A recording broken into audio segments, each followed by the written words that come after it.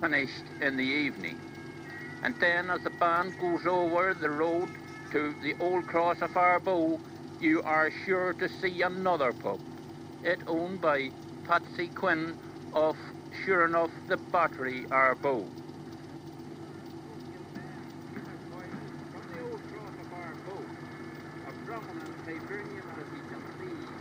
by his regalia. Well, Peter, do expect a big crowd here today? About 50 bands. About 50 pounds.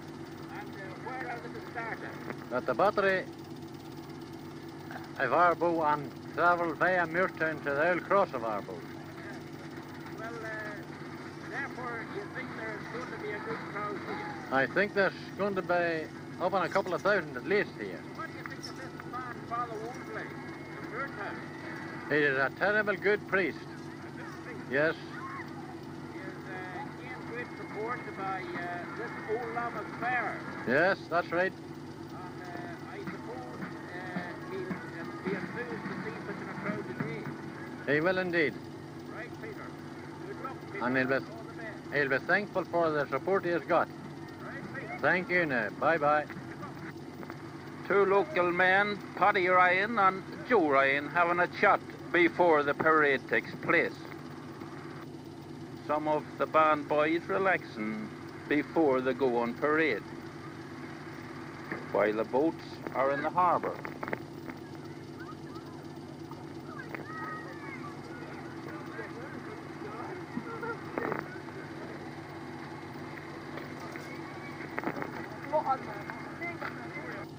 Tommy Joe Kelly and Paddy Rains.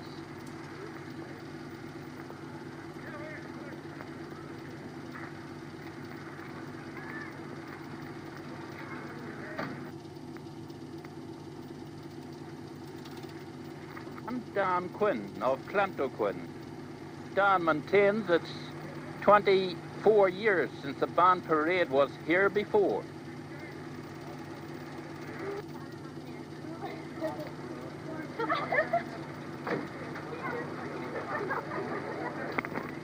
One of the signs you can see above the bar at the buttery. The band from Kilkeel and County Down is leading the parade.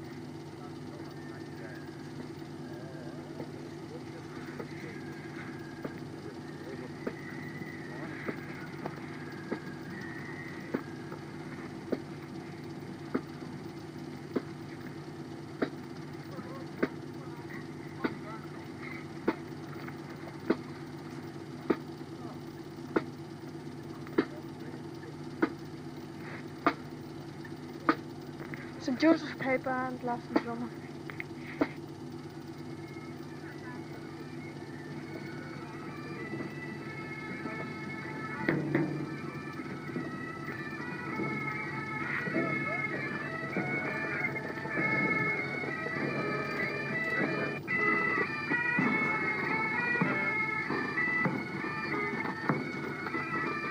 Power in paper.